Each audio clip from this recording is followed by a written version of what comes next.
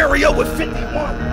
Everything in the SP, go get your man. And I feel like Vada Fly gonna recap this. So, all y'all want to know what happened? I'm gonna tell you what happened. He got smoked.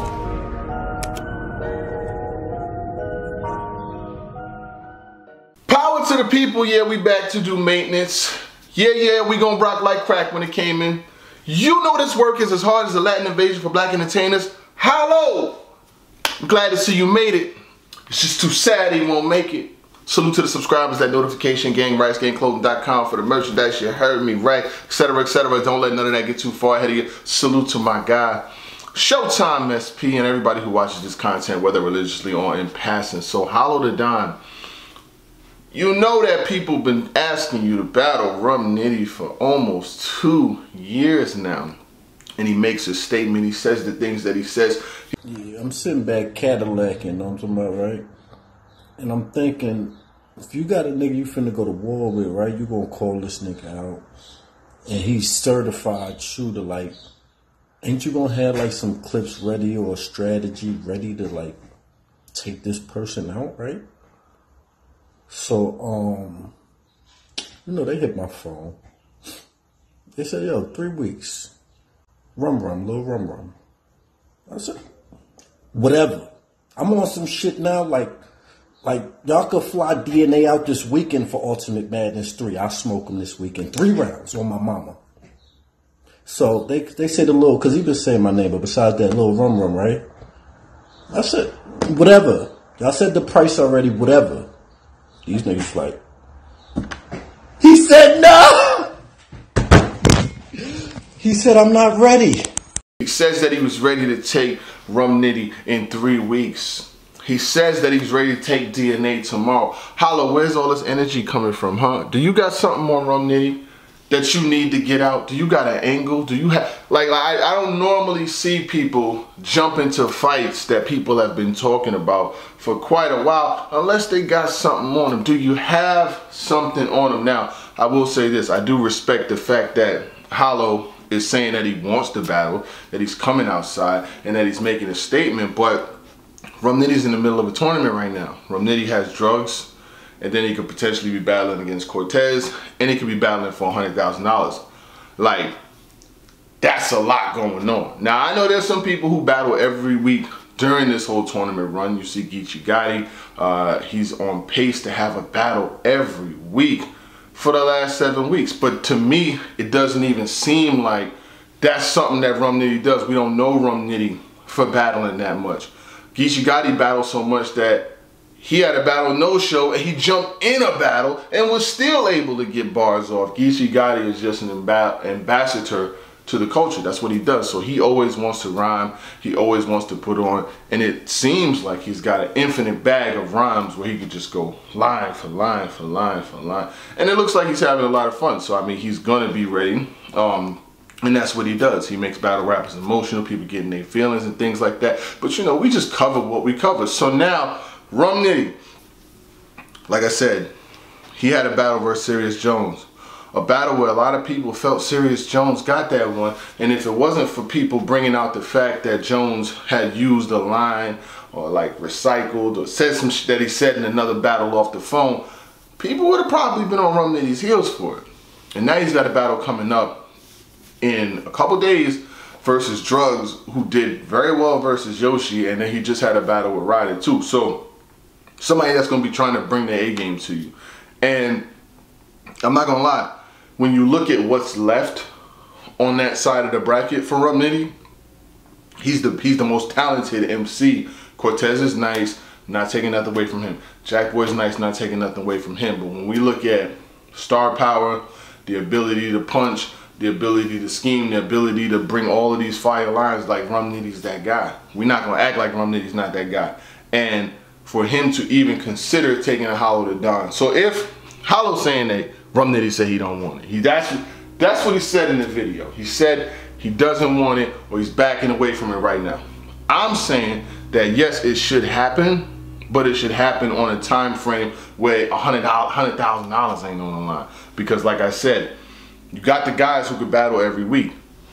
Geechi Gotti's one. DNA's another who could battle all the time. But then you got to work with what Rum Nitty does. That's not a battle every week style because when even when he tries to stretch his pen like that and take multiple battles, he be punching still, but he don't be punching punching. I've seen him do that to where he literally had a battle with the Saga and battle with his gloves on, his coat and gloves. Like literally, he didn't even take his gloves off. He went in there, left the car running, spit a bunch of punchlines and left. But we don't want that. I don't want that from Rum Nitty. If, if, if I'm getting something, I want the top quality product. And the top quality product is one that you're gonna get when you know that he don't have another battle two days from now. He don't, or he's not having to worry about battling all of these folks. And, and we're not gonna act like Hollow versus Nitty. It's not a battle that hasn't been spoken about, hasn't been blogged about, hasn't been talked about for the latter part of the last two years. So if it's something that they're gonna do, they could get it done.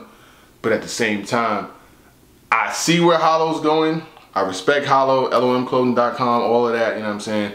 But I just feel like, and I feel like in this circumstance, Rum Nitty's got a lot going on. And if he takes a battle outside of the $100,000 run and loses or doesn't have his best shit, because the shit versus Serius, I'm gonna be honest with you, it was cool, but I've seen, I've heard, I've been around better from him than that. Not saying he can't level it up, not saying that he's not gonna have no more potent fire shit, but I'm just saying that type of performance was suffice. It got him past Serius, but it's not gonna seriously get him past. Ooh, it got him past Serius, but it's not gonna seriously get him past everyone else. You know what I'm saying? Like, I told y'all what I said the other week.